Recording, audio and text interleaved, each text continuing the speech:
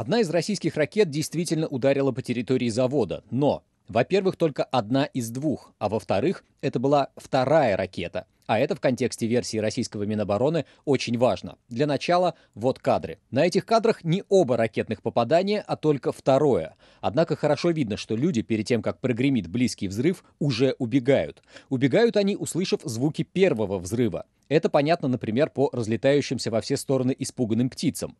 И здесь нужно посмотреть на карту центрального района Кременчуга. Вот тот самый парк, видео из которого вы только что видели. Прямо за забором от него начинаются цеха завода дорожных машин, а торговый центр Амстор находится чуть дальше, примерно в километре от парка и пруда.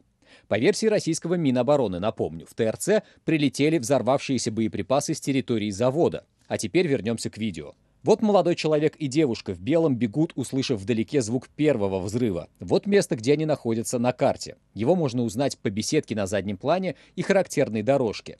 Взрыв гремит прямо за спинами молодых людей. Видно вспышку от него. В воду летят обломки. Заметьте, обломки, а не взорвавшиеся боеприпасы. Снова карта. Понятно, что ракета попадает, по всей видимости, вот в этот большой ангар завода. Другая камера на противоположном берегу пруда, у беседки. Люди также разбегаются. На заднем плане видно ту самую молодую пару в белом. Взрыв прямо за забором, на территории завода. А теперь самое важное в этом контексте видео с еще одной камеры.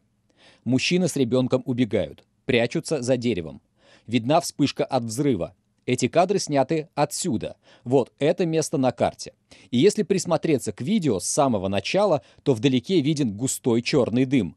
Это и есть место попадания первой ракеты.